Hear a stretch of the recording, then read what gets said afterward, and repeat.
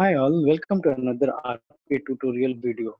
And thank you so much for your help and support in subscribing my channel and liking my videos and you know uh, putting proper comments uh, in, in video. So today in this video, I'm going to talk about a very important topic, which is what is SIT. So SIT is all about system integration testing.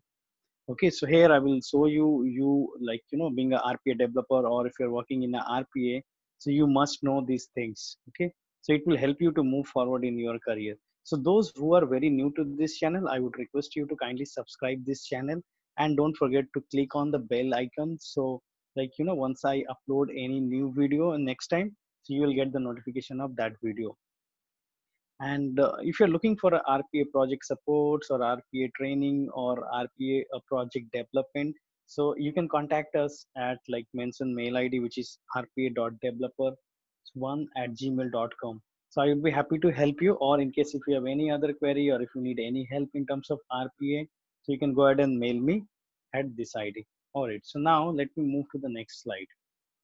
So what is sit or system integration testing? So you you can see the definition which i have given. So basically this definition i have got from the google. So by seeing the definition you can understand. So here you have to perform some testing to check the system's behavior to complete certain task right? So here like you know i mean uh, so in rpa what it is happening once your bot is completed so let's say you are developing a bot uh, so you have to use the development environment right? So there you, have to complete your development. So while developing your bot you have to interact with like you know many applications okay? And uh, like uh, for that like you need the access so in case if you are using an email to send email or receive emails or you are you are working with the sap or the web-based applications or excel or outlook whatever you are using so those things you can access only once you have the access right? So so proper authentication is needed okay? So so like uh, okay once let's say everything is fine for you and you got the access and you completed your development and your body is running perfectly fine in your dev environment. Okay so you may aware you cannot run a bot in dev environment for long time right? So that only we can use to complete the development. So once your bot is complete completely uh, developed then you have to move that bot into the you know bot runner. So you can run that bot runner you can use that bot runner to run your bot. Okay so before moving your bot into the bot runner so you have to check certain things right so so what needs to be done in system integration testing? So this is the question right? So what what action we need to perform in this particular like you know sit stage okay? So here like you have to first like you know check check for the like dependency system dependency. And another thing guys like uh, you know the the details which i'm going to uh, uh, discuss here in this this uh, video it's all about like in a very common discuss okay? And this is like you know most of the information it will be you'll get common in your projects as well. And some some things i will use some information i will use like you know which will be related with the sap and other stuff okay? So all right. So so what you have to do like you know you have to first check the system dependency. You have to check the uh, other details like email. Okay so let me go to the automation anywhere. So first start with the automation anywhere then we'll move to the other things. So this is like you know currently my bot developer system. So once you logged into the system. So like uh, you know once your bot move from like dev to a bot runner okay the sit environment so there you'll have the bot runner. You'll not have this all this authorization to create record these things. So you'll have only run okay? So you can only run the bot from there. So so here we have to check some information which is first we have to go to the options okay? So once you go to the options you'll have some informations so first like you know you have to check the login settings okay?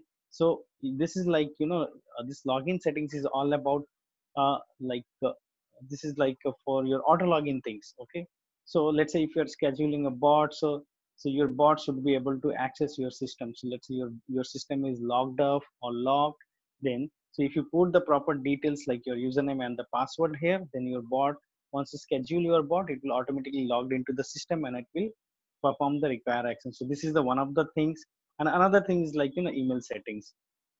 If you go to the email settings you have to put the email details like you know email host and like your port details along with the email uh, address and the password right? So this will this is this is very important part because in in every bot or whatever projects you are doing a development so you have to be uh, like you know this authentication will be available or like your bot should be able to access your email by reading or sending emails right? So so these are like you know currently i'm using the gmail so the port is 465 for your scenario. If you're developing a project for a company so port and host name will change. So so your it team will be responsible for you know i mean opening this port and giving access to you know interacting with this particular host and port for that particular bot runner okay? And another thing is like if you go to the plugins you have to check the like you know plugins are there or not. So probably you'll get to know like what are the plugins available for the chrome or the internet explorer right? So you can see like these are the plugins which is available okay? So so let me close this. The next is like you know you have to you have to check like you know i mean once you have this information available so manually or you can you can use your bot to you know uh, send an email or receive an email. So probably like you know once you have all the details available however once you run the bot your bot will fail. So you can check this you know port accessibility. Either you can uh, run a bot or you can send an email manually using the outlook application which is available in your bot runner. Or you can do the telnet also. So from telnet also you can check those details all right. So now moving to the other uh, things like, you know, we have to check the extensions. So let me go to the Google Chrome. If, if you see, this is my Google Chrome. So here I'm having the automation anywhere extension is available. So let's say you are using a web-based applications and you have used the Google Chrome to complete your development. So once your bot will run, so your bot will interact with the Google Chrome, right? So if the extension will be not available, your bot won't be able to capture or perform the required action in the Google Chrome. So this is one of the mandatory part. You have to check this and you have to check the other settings also like zoom percentage should be 100%. Okay. So these are the basic things. If, if it will be not there, so make sure you are making these proper changes to run your bot successfully. Okay. Now coming to the another part, which is like, uh, I mean, uh, you have to check the Microsoft based applications as well. Like, so probably in your process, you are using the Excel or Outlook or other other applications like word right? So you have to open and initially if you open the excel or microsoft office first time you'll get some pop-ups right? So if you are not handling those pop-ups in your code then it is like you know best practice to uh, go to the excel and look for uh, those details right? So probably like you know i mean first time once you open the excel you have to check or like you can make the default settings etc etc right if you're using the SAP, so let's say you are working with a SAP, okay, so make sure you are checking the prop, I mean the uh, the required transaction codes or the layout or the variants, whatever you are using. It's not only for the SAP. If you are using any other web-based applications as well or the desktop-based applications, you have to properly check the details wherever you are accessing or whatever you have done using the develop developer system so everything you have to check the same right? So in case if, if you think something is not there you can connect with your it team or the person who is responsible for providing the access. So you can highlight these informations right? So now another part is like um, if, if you are running a web-based applications or using a web-based applications so there also you have to check whether that application is having access to your bot runner or not. So probably like you have to put the username and password to logged in and check whether it is accessible from that uh, particular bot runner or not or probably like you know you'll get a error like uh, the the settings or the like you know security reason. Because of the security reason you cannot access the page okay? And the like uh, the last thing is like you know which is is like you know folder access okay?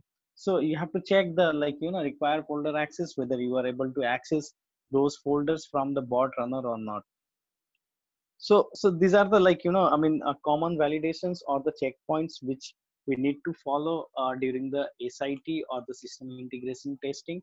So so it's as i said like you know it, it will vary from process to process. So here i have discussed the common things which you you should know okay? So it will give you the basic idea and you, I mean, once you do these things you will get to know so many things.